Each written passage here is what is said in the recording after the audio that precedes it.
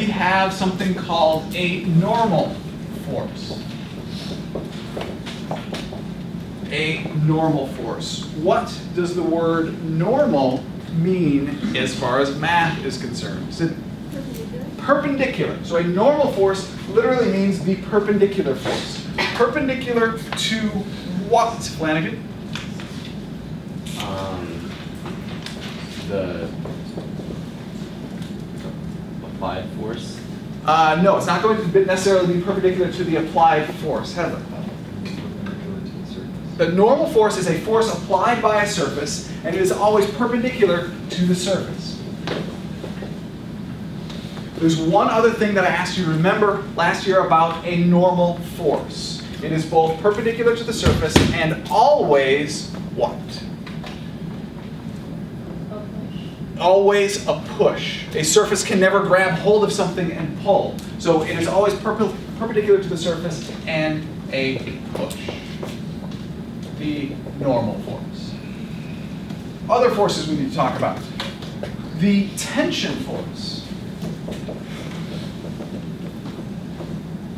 is a force caused by a rope, a string, a wire, a cable, a, I don't know, anything of that sort of thread.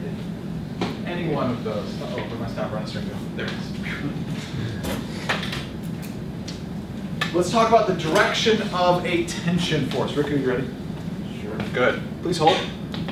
With the other hand, the index finger of the other hand, please point in the direction that you feel the force. Point in the direction that you feel. There you go. Okay. So notice the direction that he is pointing and continuing to point. Notice the direction he is pointing, right?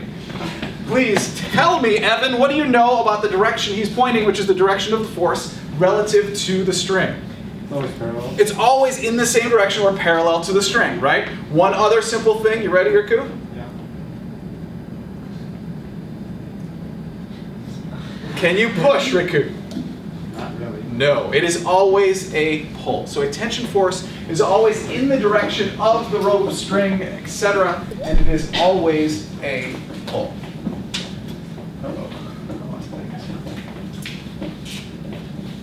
In direction